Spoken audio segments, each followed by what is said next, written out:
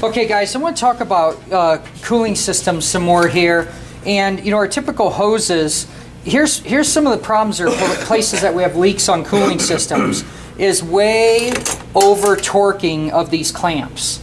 Uh, it's it's pretty surprising. You know, a few years ago when I noticed in a service manual that they actually had a torque spec for uh, coolant clamps in a Honda manual.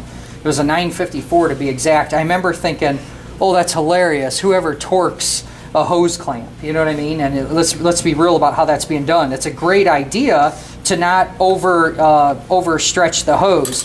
If we look at this hose here, we could see it's frayed. I'll pass this around. Uh, this is just a bad deal. I mean, if you see hoses like this, it's going to deteriorate, it's going to break.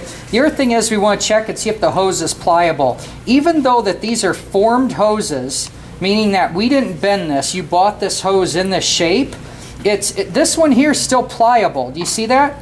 I could still kind of squeeze that. This thing is, is pretty rock hard around here. It doesn't have any bend to it. It is just going to fail. It'd be a good idea just to get rid of this hose. The other thing I want to talk about is a lot of our hoses will have these springs on here. Have you guys seen these before? Yep. Okay. And a lot of people do. They take them off, especially because they get rusty and crappy looking or whatnot. The whole idea of this is it's by something that they're thinking they want to be protected. These are really nice in the event of a laydown or an accident because it'll potentially stop that hose being pierced and then dumping all the coolant on the ground. Does that make sense? So anytime, you're going to see fuel lines with these as well. If you can put these back on, I highly recommend it. You know, leave these uh, hose protectors on there. Um, hose clamps like this, may I say throw them away. They're junk. I hate these type of cheap clamps. I'd go to a hose clamp and call it a day. One thing you'll notice too is that on the installation of these, you guys remember for our two-stroke dirt bike class how we said it's always nice to duplicate where it rode before? Uh-huh. If I clamp this way over here, I yeah, I'm- or I'm going to basically uh, not have as good a clamp because I'm not really around the nipple that this is being inserted into. So, and when I say nipple, I'm talking about this right here, you know, this edge on there. So I want to be fully inserted on there so that I can get a good clamp and that I'm larger over here and that I'm not going to have a leak. So types of places we would look for leaks is, is right there. So there's a couple of things on hoses that I think are taken for granted as tightening. What about taking these off? You know that one large pick that's about, it's not quite a 90, it's more like a 45 that's in your toolkit? Yep. We want to get in here and basically walk that around to try and remove that. Um, I highly recommend lubricant. Let me model how I would want this to be taken off to have the minimal amount of um, minimal amount of problem here. Okay, so you've taken your hose clamp off and you're getting ready to do this. Can you hold this for me? Can I support that? So this is on a bike. I know we're in a goofy angle here, whatnot. Here's what I recommend you do. You're going to get underneath here like this, lift this up, and then spray in there. And then watch what I do with the pick. If I do that, I'm going to go ahead and jack this up. You see how easy that is to, to tear through? Oh yeah. Okay, I don't want to go that direction. I'm not going up, I'm going this way, okay? And then I'm going to walk it around. You see how I do that? I'm going to walk that around, and what's going to happen is I'm going to break the dried seal because was there ever any lubricant on there? Probably not. And when you install it, do you want a bunch of lubricant? No. No, because I want a good tight seal on there, okay? So then once I've walked around with my radiator tool, that's what this is called, is a radiator pick tool. And then I would then take this and rotate it back and forth, and as I'm rotating it, pull it off. Does that make sense? Yep. If you do that, you're gonna be, you're probably not gonna damage these. You might say to yourself, I'm done, thanks. You might say to yourself, oh, a radiator hose has gotta be cheap. When you go to O'Reilly's or AutoZone, formed ones are not.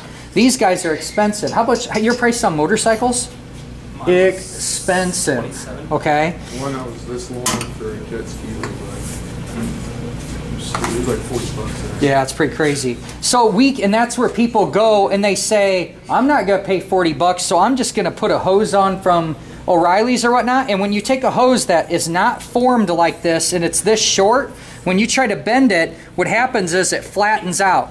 And when this flattens out, that hose isn't meant to run like that. It's going to get hot and it's going to kink and it's going to restrict flow and it's usually going to blow something off or have a leak. So no choice there.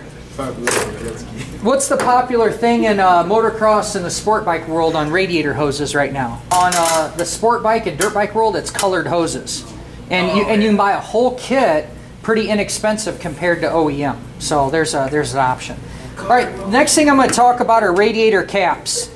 There's there's no value into the size of this. This is strictly due to the age of the bike and the year. The older bikes did have these large radiator caps. Honda put a, a bunch of these on here and uh, they just had a, a, larger inlet to fill it. But as the bikes got lighter to save, you know, to be able to have better gas mileage and so on, we ended up going into filler necks, uh, something like this that's just smaller on here. So you, it doesn't matter, you can't interchange them, but what I want you to know is every radiator cap out there has a rating on it. So I've got a couple here to show you, and it actually tells us the metric rating. Do you see where it says 0.9? Mm -hmm. Okay, and this one says 1.1. Okay, we'll have to look those up, but I'm pretty sure that the 0.9 I think is like either 13 or 15 psi, and then the 1.1 is uh, I think 17 to 19 psi. So we're going to talk about what that means. But listen to me. A lot of guys go down because cars have started getting these smaller ones now. This used to be 50 bucks, 50 plus. And uh, I remember years ago, the Honda guys that would come to my shop on the Goldwings and whatnot, they would always laugh because like the Honda Acura radiator cap was I mean, 12.95 and the same exact thing in a Honda wrapper for a Goldwing was like 50 bucks. And so, you know, a lot of those guys talk and figure things out or whatnot. Well, a guy came in and, and showed me that one time, and I had pointed out, hey, you have the, the wrong radiator cap. Oh, no, it'll work. All the forums say it works. Well, the one that he got from the auto world was not of the same pressure rating. So if his cooling system was rated at 17 psi and he puts a 15 psi cap, he has lowered the boiling point of the antifreeze in there. Okay, so it, it moves the system out of operation, and we'll, we'll, get into those numbers here a little bit uh, better later on. All your American stuff, we're going to find that uh, we're going to all our tools and everything are going to be rated at a, an American PSI because that's what we can relate to. We can't relate to 0.9 or 1.1, right? So radiator caps have a have a intentional value. This is a tool uh, by Stant, most popular. This is an automotive tool with the motorcycle and small radiator cap applications. And what we get here is a way to, so if, if, we look in here, do you see where it says the cap and it says 9 to 11 PSI, 13 to 14, 15 to 16 and so on? Yeah. So what that is, is we're going to be able to pressure test caps and we're going to be able to pressure test radiators and see if they hold their design pressure. So that's what we're going to do today here. This doesn't have the metric conversion on there, so I can't, uh, can't tell you which one it is. Like I said, I think it's 15 and I think it's like uh, 17 to 19 on the different PSIs. Well, why don't we just start with uh, testing a cap here. Now, let's, we need to look at the radiator cap a little bit more. This has a lot of function to it. You guys are probably familiar on your motorcycles and your cars with having some type of reservoir or yep. a coolant tank. So the, what happens is, and you can see the upper and lower level here, as the engine is hotter and colder, has anybody ever filled this before and as you fill it, it says uh, upper level hot and upper level cold. Okay, so it, it, has that room to grow in there. So as your engine uh, gets hot, the radiator system sucks down a little bit and it sucks some fluid out of here to keep the system full. And as the system gets cold, that fluid pushes back into this tank. Okay, but we said that our radiator systems are sealed, right? Everybody agree with that? And how, that's, how that gets back to the tank is out of this little hose right here. Do you guys, you see this uh, extra nipple on this radiator? Yeah. This is a common one of those lines that would go down to like that oil cooler I showed you on that Ninja. Okay, so, or it might go to carburetors. Okay, somewhere where they're going to put antifreeze. Didn't you have carburetor antifreeze lines on your snowmobile? It, this is probably an area like it'd be coming from. Okay, so the small one here, and you always know it's right by the cap.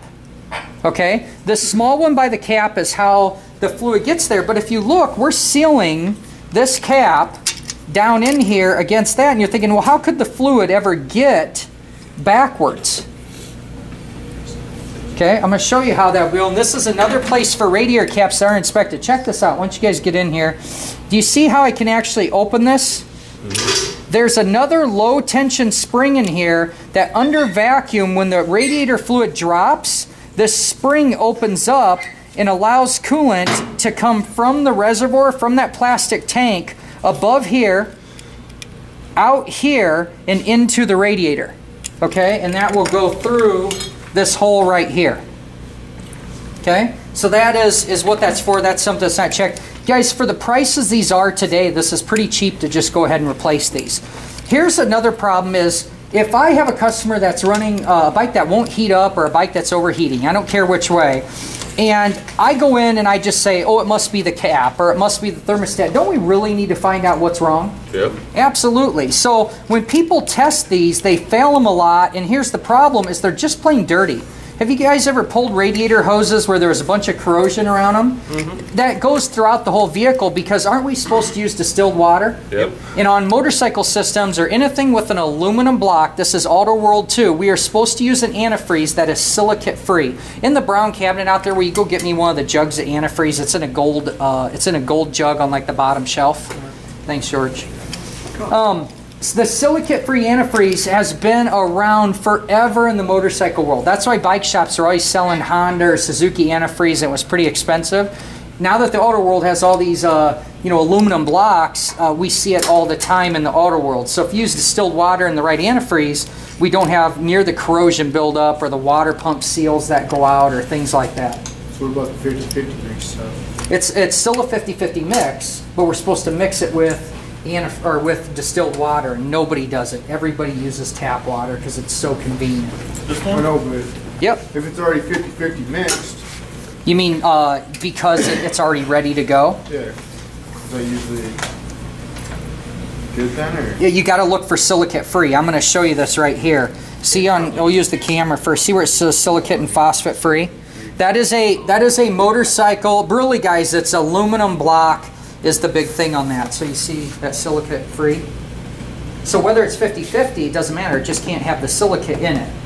Okay, the silicate's what I guess shoot up water pump seals and and uh, I, I don't know. It's like sand of something, I think. So it's an abrasive.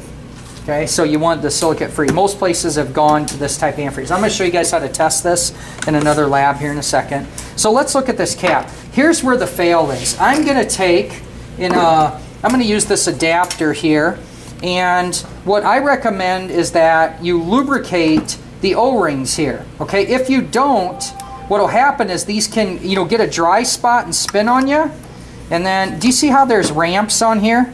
Yep. Okay, so this is real simple. Uh, this, it, you know, you can make these last forever. You buy it once. There's a stopping point. Did I force that on there? No, not at all. And then what I'm going to do is I'm going to kind of lubricate this up. I want to do the same thing on my cap. And I think this is where I've had plenty of people come up and be like, oh, it's bad. And it's like, no, it's not. We still are going to have an overheating problem. When you put these on, we have to compress it and then rotate it around. And we end up landing on another stop there. So we're compressing that spring. Now all we simply do is with our radiator cap here, let's say that this is a, this was the 1.1, right? Yep. I think that's 17 PSI. We would want to really use the manual. I'm going to go ahead and try and pump this up and look at, is that cap bad? Yeah. It just keeps draining right down. I'll go ahead and pump that back up again so you can see that. I try and get up there and it just drops down. The cap, is the cap bad or is my tool bad? Could be either or. So do you think to test this I could spray soapy water around here? Yep. If I'm leaking on my tool, and here, look at the points of this. I mean here, I mean here, I mean here. When we pulled this out, it was dirty and nasty because somebody dropped it. I mean here, I mean here. You do the soapy water test because no matter what, you get the new cap and test again. If the tool's the problem, Well, you're gonna you're gonna fail again. Okay, so we would want to test our tool. You know, a great way to do this test: uh, submerse it. Have a bucket of water that you Oh, could yeah. just put this under.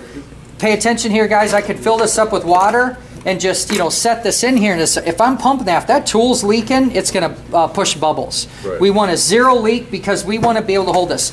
Now, per your service manual, they're going to say something like one psi of loss every hour or six minutes. I don't remember who. You know, one way or another, we don't want them to leak.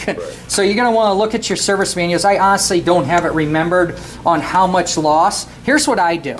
I take and I, I think about my diagnostic as I'm doing things. If I know that I have to test a radiator system, I'll hook this up and let set for a couple hours. A good cap can sit overnight. Okay, it won't leak at all. So if I come back after lunch or something or halfway through the day and I check this and it's not leaking, is it good? Yep. It's good. Then I would go and I would do the radiator test. I'm going to show you here in a second, and I would verify that the radiator will sit and hold pressure for you know a few hours or, or so on. And like I said, every manual out there gives you exact specifications. Make sense? So of the system here, this small one is the adapt. This is the whole motor. These are the motorcycle adapters you'll see to test the small ones. If I was doing just the large one, I would simply do this. I'd go ahead and put this on. I'll just go ahead and do a dry test here. Put that on. Leaking? Yep. Is there a chance that most of the ones I have are bad? Oh, yeah. You know, because of, of what we have here for our supply. So let's do uh, let's do this real quick. Okay, had a little pressure in there. Did you hear it pop? You never open a radiator hot. No. And uh, George, you got a pretty bad horror story on that with your man. Oh, look at that. Supposed to. Would that even be worth buildup. testing? Yeah. Probably not, but why not? A Little sandpaper. Uh, do you want to eat antifreeze? No. No, probably not. Most of it's dog safe and friendly now, but I, I don't think I'd recommend doing that. Still so. tastes. All right, let's uh, let's hop in here. Go ahead and uh, this is a 1.1 again. Okay, higher the higher pressures are definitely going to be more higher performance related. RC51, It's dropping. it's dropping pretty pretty slow, but it held. Do you see how it was probably that had too much pressure and it was relieving itself? Up to the point to where it was. So this cap right now says it's a 1.1 and it's holding about, you know, right about 16 psi. It was pretty close to me, right? Yeah. Okay. Good stuff. All right, we'll get the one off the truck. Okay. Let's let's uh, switch gears here, and we're going to just go ahead and move to the motorcycle here behind us. So we're going to need this one. Here's something I want to point out on this. See if it has them in here. This here moves up and down here, and I could tell that some of the washers. Sometimes you can have two washers on here, and I don't see it in the kit be, wouldn't be shocking if it was missing or whatnot. But this this really needs some uh, some maintenance here so that we can get this to uh, to seal up here. Okay. The other thing is when we're dealing with the antifreeze, the antifreeze ends up being pretty uh, pretty dry, right? Yep. So I don't want to even be messing around with my aluminum radiator here and having a problem. So I'm trying to just get this to uh, to work right now. So let's turn around here. We'll get on the motorcycle. Now remember how that little crap of uh, that was you know pushing off the cap. Yeah. So it's around here right now. So that's you know that's not good either. So we would need to thoroughly clean this, and then we'd want to figure out what's going on. But all this is going to do is this is going to adapt us to be able to fit our large our large one on there. Does that make sense? And then we take our tool, simply put it on here. Can somebody hold that for me and I'll have you pump it up in a second. There's another thing on this tool, and this is a relief that will pop the pressure before you take the cap off. So you don't just pop. So then I'm going to take this, I'm going to get it nice and tight. See how that's free here? Go ahead and uh, build some pressure. That's good. You'll way, way too much. Look at how you went into the red. Okay. Okay. This one here, I'm gonna build bleed some of that pressure off. Go ahead and give it some pumps here. You hold it. So I don't want to go over whatever the rating is. Make sense? Now this dropped down, it, it bled off a little bit, and it seemed to really hold itself at I don't know about 18 psi. That's that matches up with the cap, doesn't it? But you know what I do? Like I said, let go. I just go ahead and and set this on here nice and walk away and do some other work. If I was leaking, what I would do is spray uh, uh, soapy water around the tool to verify that. I would go to all the hoses. I would go to the radiator itself to try and figure out what's going on uh, with this uh, with this motorcycle. And this motorcycle has twin radiators and quite an extensive cooling system of hoses that hooks across. Does that make sense? So let's uh, let's go look at a radiator and we'll be wrapped up here.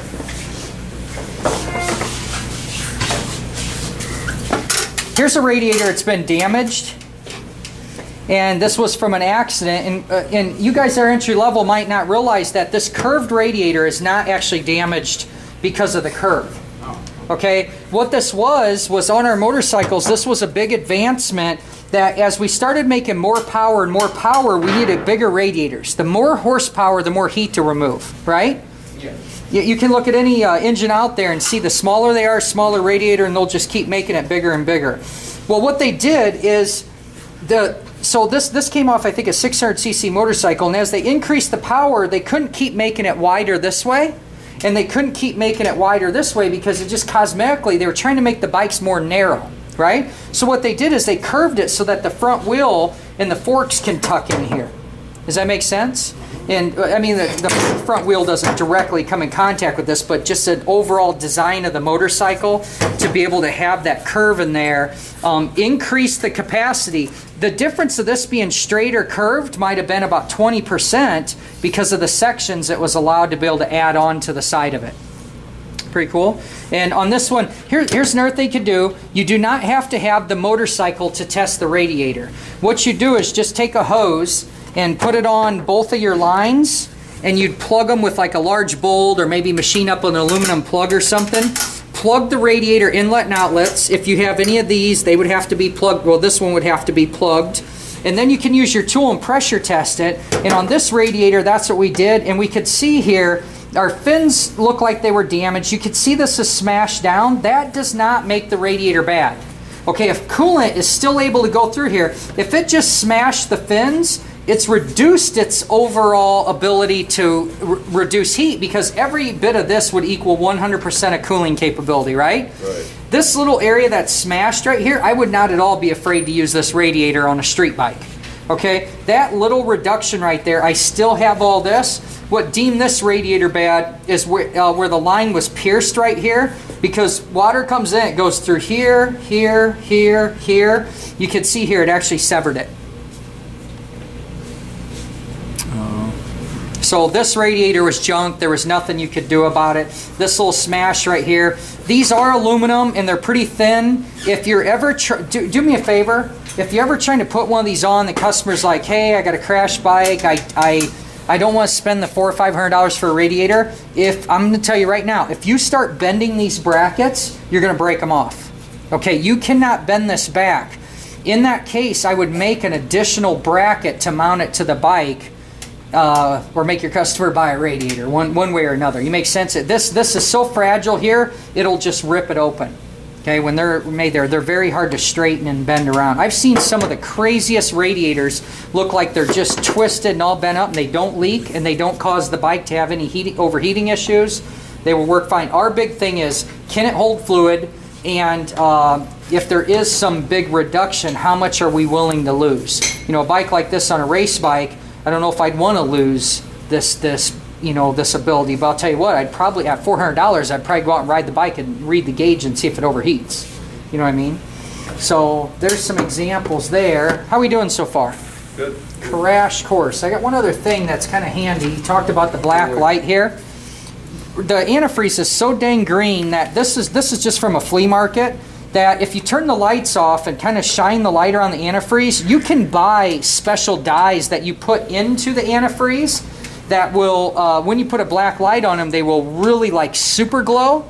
But on our motorcycles, we don't have as much problem like a car does where you can't see everything. So they really need those dyes to get down around a block and look at things. The antifreeze for us tends to be extremely obvious because we just got to pull some body work off with one of these black lights and just antifreeze alone, it will tend to typically make it glow. Okay. Another thing that I've done to look for leaks that have been real troublesome is to go and spray baby powder all over the, the inspected areas. Uh, I got a, a, video on the RC51 where we just baby powdered it like crazy trying to figure out where the leak was because we had a really super small leak. It'd take about two days for it to develop. And then uh, with the baby powder, we were obviously able to see right where it got wet because when it would drip off the motor, it would roll sideways, hit a pipe, roll this way, and it, it just was so deceiving to try and figure out where it was. When we made everything wet and kept going and looking at it every hour, we were able to pinpoint exactly where that leak was.